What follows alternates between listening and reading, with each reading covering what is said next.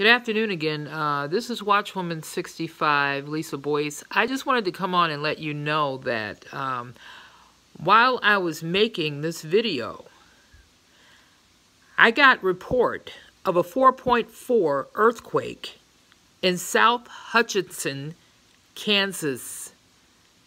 I think that's near Kansas City. Yeah, it's a 4.4 South Hutchinson, Kansas. Um, there is no report of any other thing on the map, but I'm looking at it right now, and I have one also here of a 5, what is this? No, a 3.8, a small one in Puerto Rico. They've been shattered by earthquakes.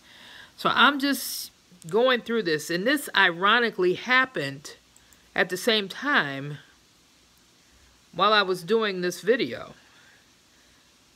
Like I said, there are no coincidences with the Lord. So I'm just letting you know what's going on. Thank you.